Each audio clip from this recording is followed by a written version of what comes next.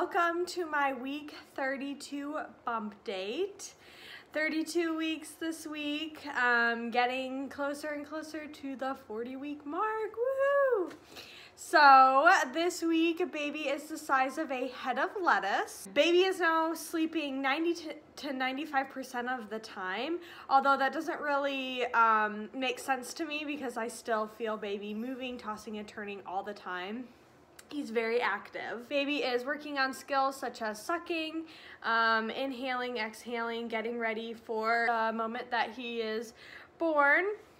Um, baby is also possibly um, head down and is getting ready to, um, you know, get more into position for labor. They say sometime between 32 weeks and 39 weeks, the baby does like start to descend and get in that position um, just because he's running out of space, running out of room. And so um, my um, pelvic area is expanding to get ready for labor. And so that's the biggest space for him. So that's where he goes. Um, so I'm hoping that baby is head down. I'm hoping that he is not breech um, or transverse so that I don't have to have a C-section, but I'm not really sure if he is head down or not. Again, this is my first time being pregnant, so I'm not really sure what to feel to be able to know if he is head down or not. Um, all of his movements feel about the same to me, so I'm really not sure. The biggest symptom this week is I've been having a lot of um, upper chest mm, upper sternum pain um, and it's just like right on the top of my bump like right underneath my um, breast and it's really on my right side um, or in the middle like right it's hard for you guys to see and it's hard for me to get up but it's like right here like here's my bra line and, and it's like right here is where it really hurts um, and I think that's just baby and it's tugging on my skin. Um, but like I said before multiple times, it's hard for me to lean forward anymore. I have to constantly lean back. It hurts for me to sit up straight as well. Um, so that's been kind of a bummer to deal with. My belly has been very itchy lately, um, especially at that certain part. Um, and so I've been scratching at it a lot and it's been hurting. Um, and so I'm trying to put more lotion on it so that it doesn't get so dry or itchy or I'm not really sure. I think it's just my skin stretching out. Weight, I'm at um, 145.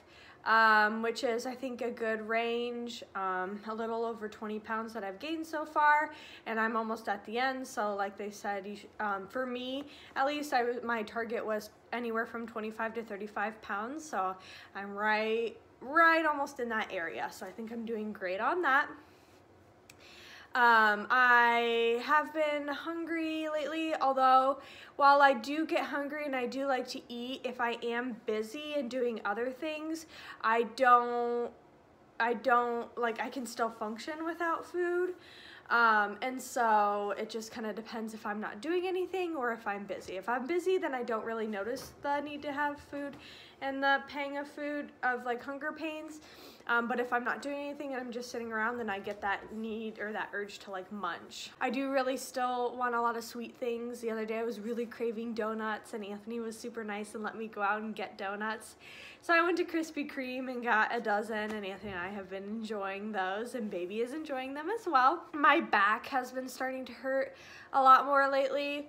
Um, and I think it's just like my belly pulling on it um, just because my belly's getting huge.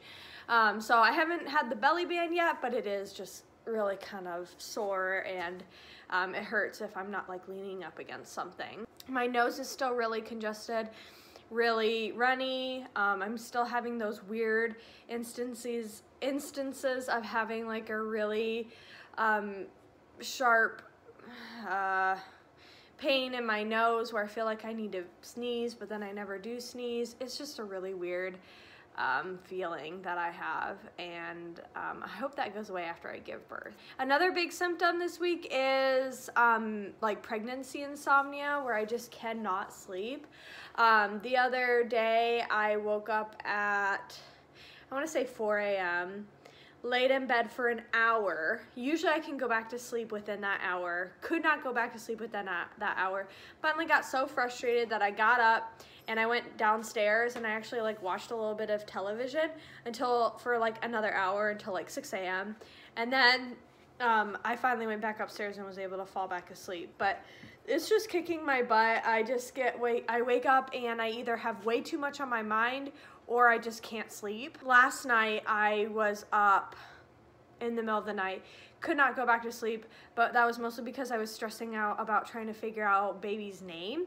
Um, I'm really, really starting to stress out now that we still don't have a name for our baby. I'm 32 weeks. Um, I could go into labor, you know, soon, and we still have not figured out a name for baby. Um, I'm really stressing out about it. I think I'm putting way too much thought into it, and I just really need to pick. But I just can't do it, and I, I mean, this is a big decision. Like, he's gonna have this name for the rest of his life.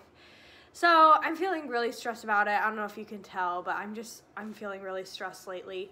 Um, also with the name, I'm also just stressed about like the nursery, getting everything set up. Um, I'm feeling stressed about making sure that we have everything for baby when baby comes, which is hard to do because I haven't had my baby shower yet. So I've just been really stressed lately. Um, and Anthony's been a trooper to stick with me and, and be patient while I go through my stressful modes with him. I'm still feeling baby move a whole ton, like I said earlier. Um, kicks, jabs, fluid motions, rolling over, you know, he is active, active, active. Um, he's my little buddy. I love feeling his movements.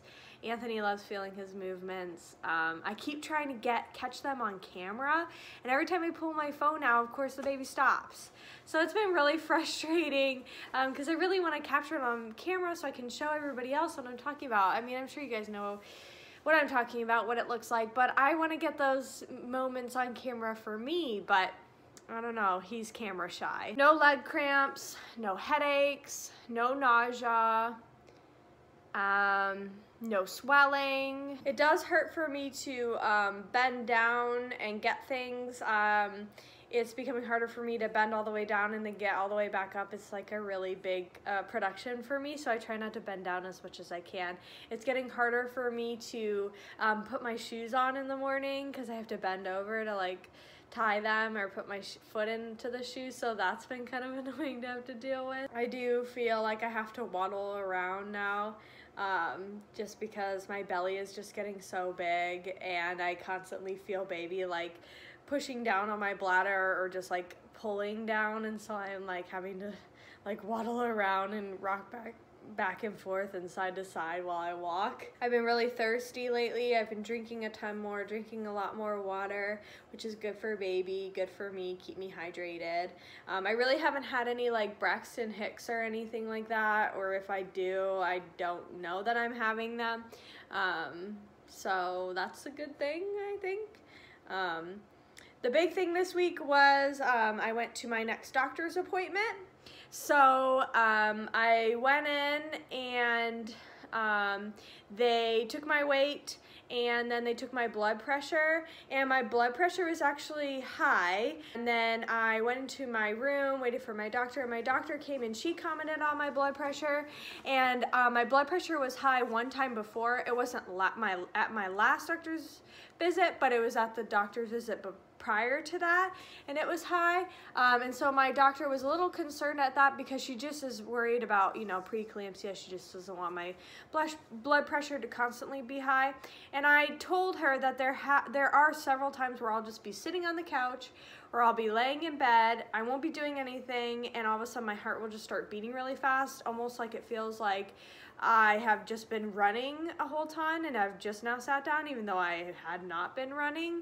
Um, and so she said a lot of that is kind of normal, just to have a faster beating heart just because you're pumping more blood um, and things like that. But she um, was a little worried about my high blood pressure and so um, she had me sit in a chair for a couple minutes five to ten minutes um, with my you know my feet flat on the ground and then she had the nurse come and take my blood pressure again. Um, and when they took my blood pressure for the second time it was more much more normal. I believe it was 120 over 80 um, and so it was in a more normal range so they were seemed to be happy with that. Um, so it'll be really interesting at my next appointment to see if my blood pressure is up again. Um, my doctor said it could have been just the drive there. When I went to my doctor's appointment that day, had snowed really crazy, and um, we were like under a level two snow emergency, and there was snow everywhere. The roads were bad, and she was like, "So maybe that, you know, was just what got your blood pressure high." Um, I'm not sure. Um, what all that means. Um, I'll definitely be interested at my next doctor's appointment to see if it's high again or normal. I'm hoping my blood pressure stays under control. My doctor also told me that this is the, that from now on, I will start to go every two weeks to the doctors instead of every four weeks. So my next doctor's appointment is in two weeks and I will be 34 weeks pregnant. Um, and she said that would be a, that'll be a normal appointment and then um, two weeks after that I'll have my next doctor's appointment and at that appointment they will check and see like if baby is head down and things like that.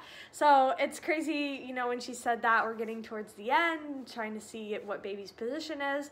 I hope, hope, hope that, you know, he is head down or it starts to move head down. I really would like to avoid a C-section if I can um, and just do, you know, uh, vaginal birth. Um, I definitely want to have epidural. I don't want to feel any pain, but I don't want to be induced either. I kind of just want to go on my own, so we'll see if that's possible or not. Like I said, it's my first pregnancy, so I don't have anything to compare it to. I don't know, you know, if I'm more likely to go over, go early, or, you know, anything like that. But all in all, everything was good. She took my fundal height. That seemed normal. Um, we listened to baby's heartbeat. It was 148, which I believe is the exact same um, beats per minute it was at his heartbeat was at last time.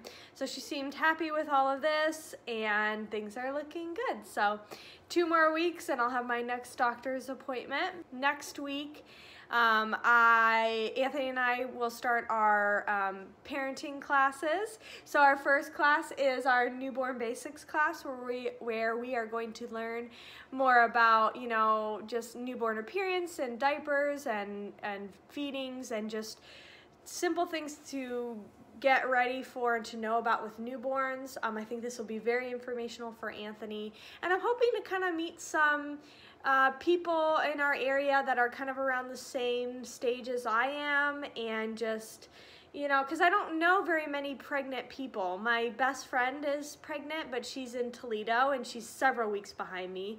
So it's really hard for me to find someone who's in the same, you know, time and space as me and to be able to re relate to someone with, um, all of my issues. So I'm really excited for these classes. I hope um, they're worth the money. Anthony has been doing great. He's been very supportive of me. Um, he's very caring. He always wants me to sit and rest. Um, he's always, you know, kissing baby, kissing my belly and talking to me about baby. Um, he doesn't really um, help me too much on the name aspect. He likes the four names that we've been on for a while and he just wants me to pick one, um, but I'm having problems with that.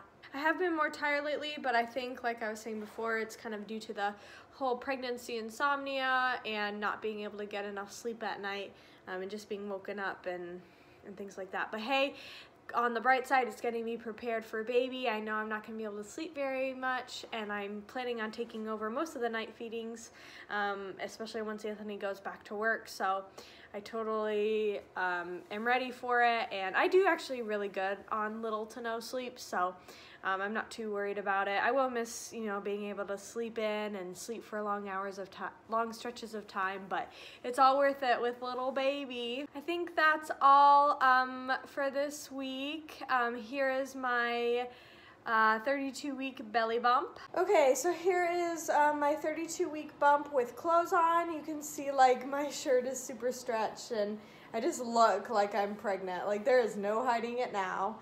Um, so if I take the shirt up, here is my belly from the side. Here it is from the front. And here's my belly from the side. So I feel very wide, very large, very pregnant. Okay guys, so that is all for this week. Tune in next week and I will tell you guys about our first parenting class that we're taking. Again, it's the Newborn Basics course. Um, and I'll tell you guys about that and what I thought about it. I'm really excited to take it. Um, and I'm excited to just keep moving this pregnancy along and getting more towards the end and I cannot wait to see my son's face and what he looks like and I just I'm so excited. So I hope you guys are excited with me and I hope you guys you know um, continue to follow me along on this journey. Bye guys